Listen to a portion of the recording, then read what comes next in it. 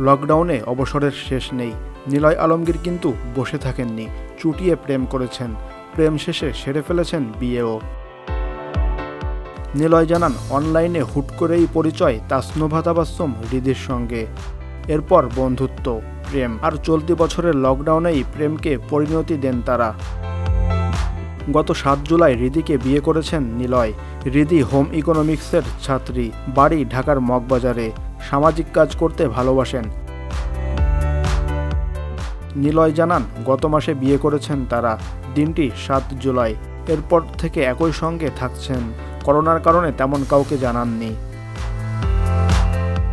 নিলয় আরও বলেন, তার বোন অস্ট্রেলিয়াতে থাকেন। ছুটি মিলিয়ে তিনি দেশে ফিরলে তখনই হবে বিবাহোত্তর সংবর্ধনা। বিয়ের অনুষ্ঠানের আগে সম্ভব হলে ঢাকার বাইরে মধুচন্দ্রিমায় যাবেন তারা। যেহেতু এখন লকডাউন খুলে দেওয়া হয়েছে, তাই দেশের মধ্যেই কয়েকটি জায়গায় একসঙ্গে ঘুরে আসতে চান এই নবদম্পতি।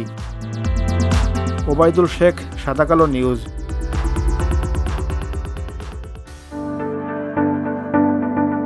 আমাদের এক্সক্লুসিভ সব ভিডিও দেখতে সাদা কালো নিউজের পেজে লাইক করুন। যদি ভিডিও ভালো লাগে, তবে অবশ্যই লাইক কমেন্ট শেয়ার করতে হবে। আর আমাদের ইউটিউব চ্যানেলে সাবস্ক্রাইব করতে একদমই ভুলবেন না।